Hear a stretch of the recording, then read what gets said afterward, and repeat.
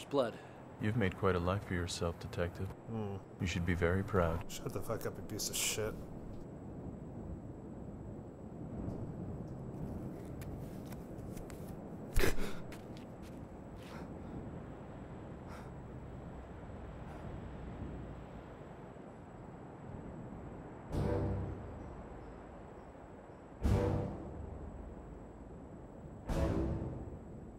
California, stay away. You stay away from here now. Don't, don't, don't come in here. No matter what you hear, stay away from here. John Doe has the upper hand. No! Here he comes. What? I wish I could have lived like you, Shut Jacob. Fuck you talking about? Do you hear me, Detective? I'm trying to tell you how much I admire you.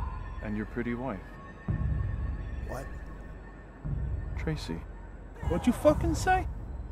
It's disturbing how easily a member of the press can purchase information from the men in your precinct. I visited your home this morning.